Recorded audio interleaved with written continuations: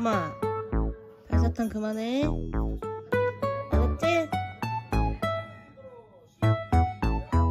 발사탕 하면 안돼 이렇게 이렇게 네 칸을 해놓을 거야 알았지?